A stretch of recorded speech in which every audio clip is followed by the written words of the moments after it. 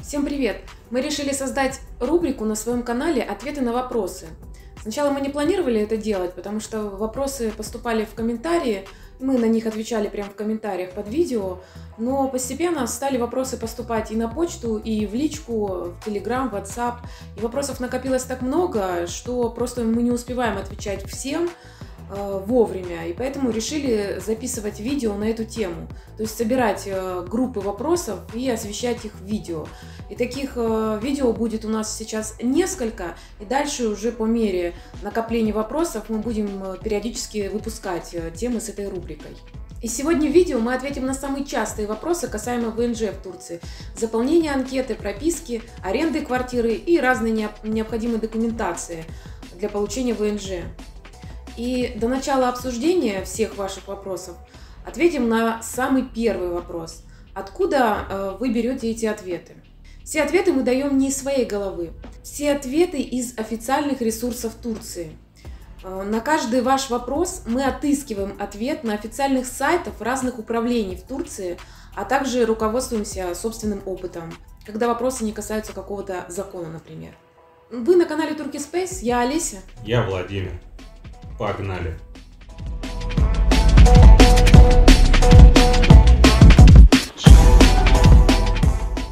Про дату подачи на ВНЖ в Турции.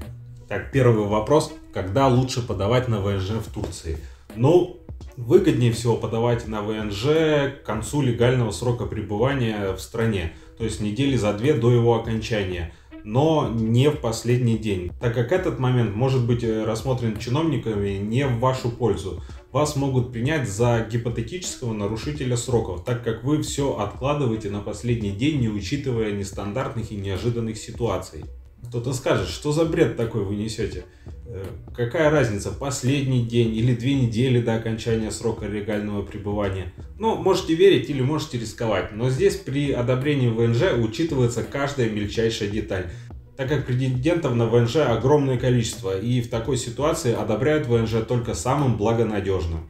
Следующий вопрос. Э, почему не стоит подаваться на ВНЖ в последний легальный день пребывания в стране? Ну, хотя бы потому, что система, где вы заполняете анкету, может просто глючить из-за нагрузки. И на заполнение анкеты может уйти не один день. Это тривиальный момент, который тоже следует учесть. Важная деталь, которую не все учитывают. Если вы хотите податься к концу вашего легального срока пребывания, лишь потому что квартира снята на 6 месяцев и боитесь, что могут не одобрить ВНЖ и деньги за квартиру вам не вернут, а так типа два месяца прожил, а потом выехал, Въехал, еще плюс 30 дней получил, а потом подал на ВНЖ, а рассмотрение происходит в течение 90 дней, то есть 3 месяца, так и проживешь все 6 месяцев без страха потери денег. Спешим вас огорчить. Такая махинация не прокатит, так как ВНЖ одобряет лишь на тот срок, на который арендована квартира. Приведем пример, чтобы было ясно, о чем речь. Например, снята квартира по прибытию. Ну, допустим, с 1 ноября на 6 месяцев до 1 мая. Оплачен сразу весь срок за 6 месяцев.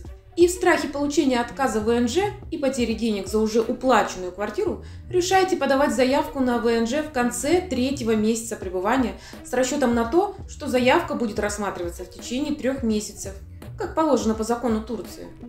Таким образом, рассчитывая выиграть и срок пребывания в течение 6 месяцев, и сохранить уже внесенные деньги за 6 месяцев квартиры.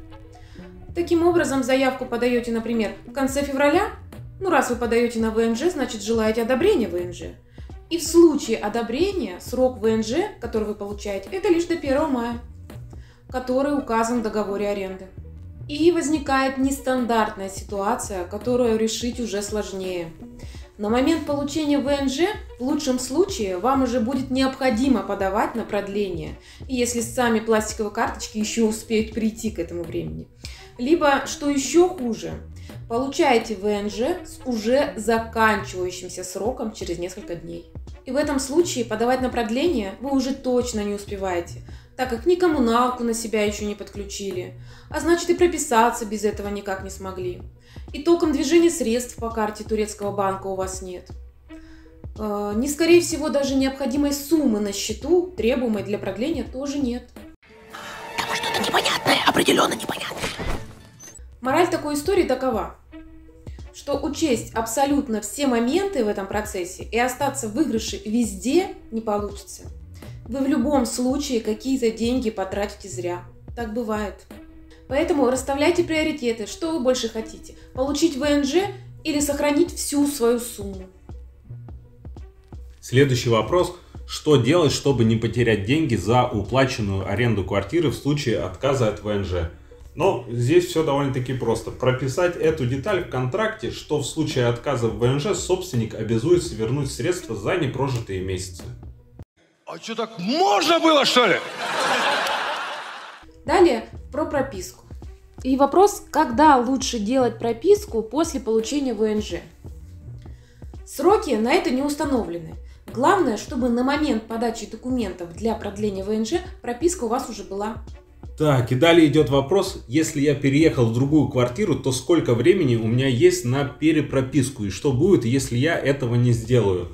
Ну, если вы переехали на другую квартиру, то срок перепрописки определяется 21 днем. Иначе вам выставят штраф в размере 120 лир. Про заполнение анкеты. Здесь у нас вопрос, если я не один, а с девушкой, то анкету заполнять на каждого человека, а как тогда записаться на рандеву вместе? Но здесь тоже все несложно. Если вы не один, а с семьей, например, муж, жена, дети, бойфренд, герлфренд, то каждый заполняет анкету, заявку на себя отдельно. Сначала один заполняет и, доходя до пункта записи на рандеву, оставляет анкету. На этом пункте номер заявки будет уже присвоен.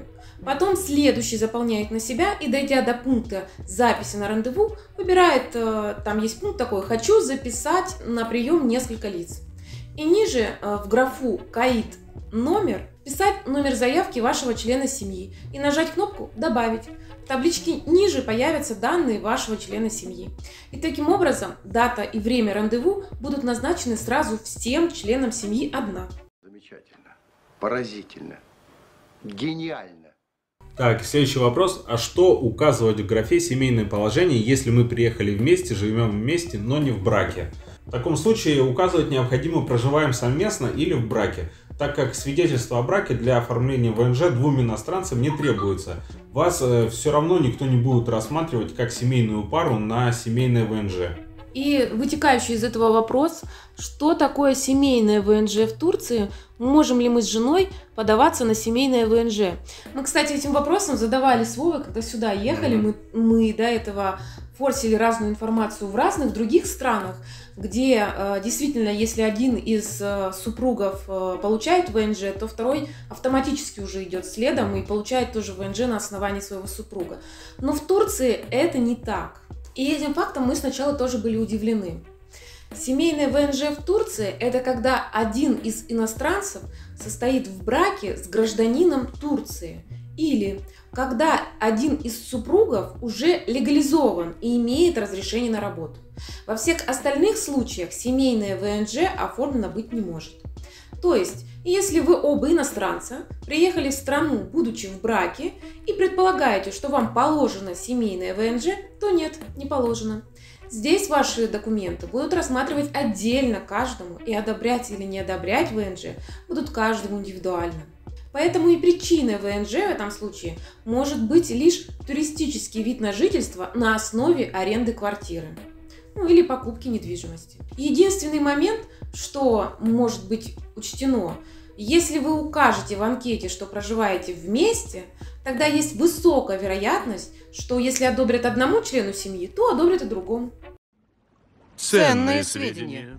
Так, следующий вопрос из э, раздела заполнения анкеты. Как правильно указать дату начала запрашиваемого ВНЖ?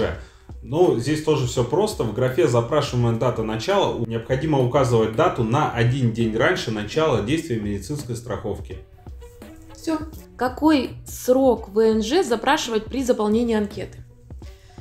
При первичном ВНЖ запрашивать тот срок, на который заключен контракт аренды квартиры. При продлении ВНЖ тот срок, на который у вас денег на счету в турецком банке, исходя из минимальной заработной платы в Турции. Например, в 2022 году эта сумма равняется 5500 лир в месяц. Ну и, естественно, страховка должна покрывать весь вас запрашиваемый срок. Об оплате госпошлины. В этом разделе пока поступил один вопрос. Если я оплатил госпошлину после рандеву, нужно ли приносить квитанцию в ГЕЧ? Если вы оплатили госпошлину уже после рандеву, то квитанцию об оплате приносить в ГЕЧ, э, в котором у вас проходило рандеву, обязательно в течение 30 дней. Без наличия в папке всех необходимых по списку документов, ее, ну то есть вашу папку, никто в Анкару на рассмотрение не отправит. Никто не будет залезать в базу данных и выискивать там, была ли проведена оплата или не была, так как процесс этот поставлен на поток и местные чиновники не отклоняются от привычной схемы, то этого никто делать и не будет. Если вы в течение 30 дней не донесете недостающих документов, вашу заявку просто аннулируют и придется все делать заново. Мгм. Так что квитанцию об оплате приносить нужно. Да-да, не удивляйтесь. На сегодня э, мы решили закончить с ответами на ваши вопросы, чтобы не перегружать э, вас, наши подписчики. Так что подписывайтесь на наш канал, чтобы не пропустить ответ на волнующий вас вопрос в следующем видео. Поставьте палец вверх, если видео оказалось полезным. Письма, вопросы, предложения пишите в комментариях и на почту. Адрес почты найдете в описании под видео. А также в описании найдете наш сайт, куда можете обратиться с, за помощью аренды квартиры, покупки ар- квартиры или помощи в сопровождении подачи документов на ВНЖ. При желании вы всегда можете воспользоваться функцией «Супер спасибо», чтобы поддержать наш канал. Обняли, подняли и немножечко хрустнули, чтобы было приятно. Всем пока! До свидания.